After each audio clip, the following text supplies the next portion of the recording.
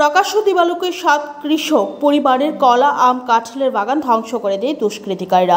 ঘটনা বিলুনিয়া থানার অন্তর্গত ভারতচন্দ্রনগর ব্লকের পাইখোলার নাথপাড়ায়। জানা গেছে, নাথপাড়ায় মোট সাত পরিবারের প্রায় পঁচিশ জন মানুষ রয়েছে। প্রতিটি পরিবারে আয়ের একমাত্র অবলম্বন কৃষি নির্ভর।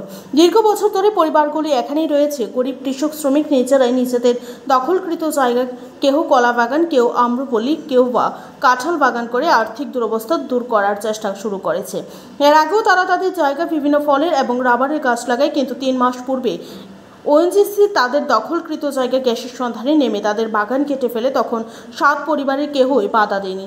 তাদের আশা ছিল গ্যাস পেলে গোটা এলাকার সাথে তাদেরও আর্থিক লাভ হবে, কিন্তু ওএনজিসির অনুসন্ধানে কিছুই না পাওয়ায় তারা ফিরে যায়। পরিত্যক্ত জায়গাটিতে আগের দখলকৃত সীমানা অনুযায়ী এলাকার সাত কৃষি শ্রমিক পরিবার পুনরায় তাদের বাহারি ফলের বাগান তৈরির কাজ শুরু করে, গাছও প্রায় বড় হয়ে যায়।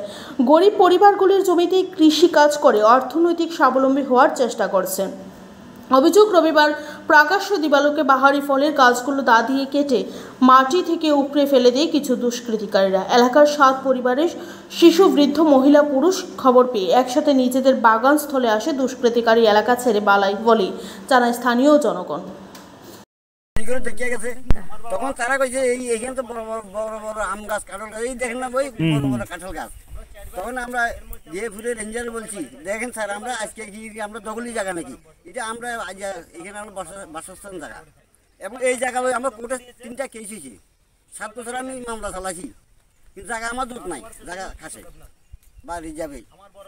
তাহলে এই বড় বড় গাছগুলো সব কাটিয়া বন দিছে হালাইছি। এই গাছের ক্ষতিপূরণ দিয়েছি আমরা। যেটা আমরা বাস্তব সত্য কথা যেটা আমরা। তারপরে বলছি ঠিক আছে, আমরা তো দুই তিন মাসে থাকতে ছ মাসে থাকতে, সাত মাসে থাকতে আমরা গেল কই? তোমরা জায়গা, তোমরা হাই যাবে তোমরা আমরা জায়গা পয়সা দিছি না, তোমরা দিছি কি? তোমরা ফলার কা ক্ষতিপূরণের পয়সা দিছি। আমরা তোমার জায়গার কোনো পয়সা দিছি। এখন ডিএবু রেঞ্জার হইতে সবাই, আমরা হিয়ার বলছি, স্যার আপনারা কোন, এটা কোনো আমরা দখলি জায়গা নয়। এটা আমরা বাসস্থান জায়গা। আমার, আমি এখানে পনেরো বছর বয়সের থেকে আমি এখানে বসবাস করি। তাহলে আমার বয়স কত বলছি এক একটা নারকেল গাছ এখনও আছে নারকেল গাছ এইখান থেকে ওইখান পর্যন্ত লম্বা করে দিচ্ছি ওই ওই দেখা যায় ওই ভিতরে নারকেল গাছ অনেক ফল গাছ অনেক ছিল এখন এখন কি হয়েছে কালকে? কালকে কোন সময় হয়েছে ঘটনা চাইতে জায়গা দখল বল কই? এখন তারা ইয়ারা আমরা এই সব আমার লোক মামলা করছে আরও কৃষ্ণতে আপনার সভাপতি কেরাসি এখন তেলের আমরা দাম আনছে। দাম লই আন। কত উড়িয়েলা মুখ তেল লাগল। কৃষ্ণনাথ সভাপতি বুঝছ হ্যাঁ। কোন কোন কোন থানা বুথ ইয়ে পঞ্চায়েতের সভাপতি।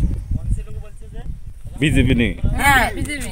তারা সবাই তো পঞ্চায়েতের লোক। বিজেপি আমরাও বেশি আমরা কোনো সিপিএম না আমরা আমরা পার্টি করিও বিজেপি করি আজ আজ কিন্তু আজকে আন্ডার আমরা গতি জায়গা তো অনুযায়ী আজকে আমরা জাগা লইয়া আন্ডার লগে আন্ডা খাইতাম ন এন পঞ্চায়েতে যদি গেছো আমি পঞ্চায়েত কি করবো এটা? হ্যাঁ, কি করবো? পঞ্চায়েত জানে।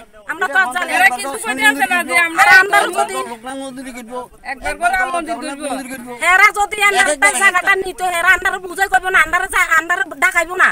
যে মতো একটু কথা আছে না। আমরা মানে ব্যুরো রিপোর্ট খবর ত্রিপুরা।